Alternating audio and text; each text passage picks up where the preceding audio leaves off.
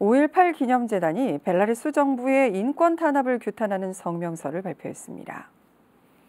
기념재단은 도쿄올림픽에 참가했다가 자국의 육상팀을 비판했다는 이유로 강제 귀국 명령을 받고 폴란드로 망명한 이 벨라루스 선수의 사례는 정부의 개인에 대한 인권 탄압을 보여주는 것이라고 비판했습니다.